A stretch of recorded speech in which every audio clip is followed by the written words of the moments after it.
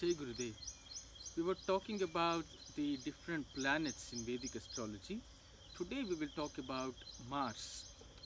The Mars is a fiery red planet. He represents the commander in chief of all the nine planets of the army of Devatas. So Mars uh, rules over Aries and Scorpio. He is exalted in Capricorn.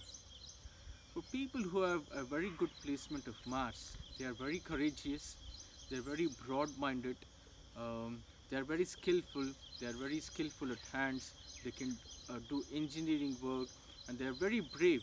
Uh, they can go into commander, army, uh, posts like police, defense. So Mars is a very fiery, aggressive planet and if it is well placed it also gives patience, broad-mindedness, patience. Um, and it also represents fire and if you have a good placement of Mars then because it represents earth also then probably you'll have a lot of properties.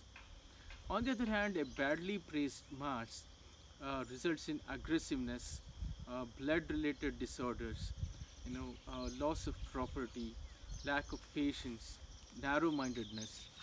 So uh, these are the if the, the Mars is badly placed these are the these are the qualities. So it is exalted in the natural zodiac sign of 10th house which is Capricorn. So if Mars is placed in the 10th house it gives a lot of Digbala.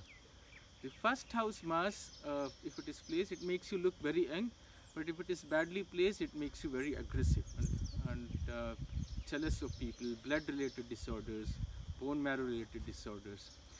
To get over uh, the bad effect, the affliction of Mars or the bad effect of Mars, one can chant धरणी गर्भ संभूतम विद्युत कांति समप्रम कुमारम शक्ति हस्तम तम मंगलम प्रणमाम्यहम so we can chant this mantra and wear red and donate chickpeas Mars is also related to chickpeas so all this can be done to get to the bad effects of Mars जय गुरु